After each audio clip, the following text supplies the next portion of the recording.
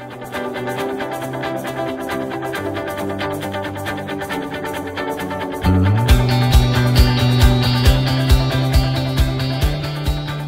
name is Ailish Clohessy. I'm currently studying business with my major in accounting and I'm in my final year.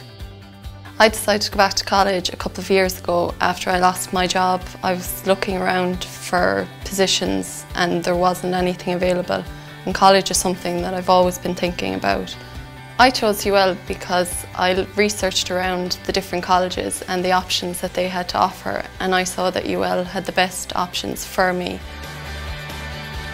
What first interests me about my degree is the accounting side of it because I've always wanted to study accounting but in, since I've been here now I've realised that there's even more than accounting that I can do. I've taken so many different modules that I have a broader view on everything that I want to do and I feel like I have a better understanding of business as a whole.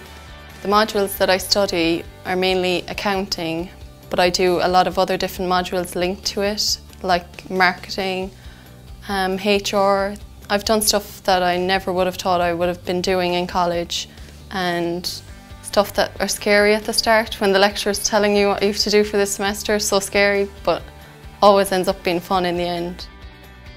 Stuff that I found challenging was stuff that I thought I wasn't good at it in school, but maybe sometimes it was just, I feel like the lecturers in UL are so approachable that anytime I have a problem, I can go to them and all they want you to do is succeed.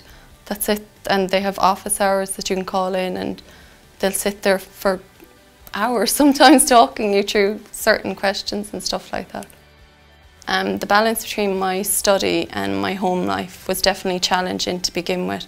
When I started in first year, I honestly didn't know what I was taking on and I kind of had to work my family life and my study life around one another and I kind of perfected that now in my final year so yeah it's definitely challenging but so worth doing. The advice I would give to someone coming back to UL as a mature student would be firstly to go for it because it's so worth it and secondly organisation because you need to organise everything and thirdly always go to for help anytime you need it because there's so many offices on campus, lecturers are only willing to help you with any challenges you may have and the mature student office is also really good. When I graduate uh, college I hope to go on and do my accounting exams. I'm not too sure which firm I'm going to go into yet because there's a lot of options out there and because of my degree I can now go into different sides of business so I'm still kind of weighing up where I'll go but I will do my accounting exams and go on to full-time employment. The best thing personally for me about being a mature student is my daughter seeing me go through all of this and that moment when she sees me walk across the stage and accept my degree.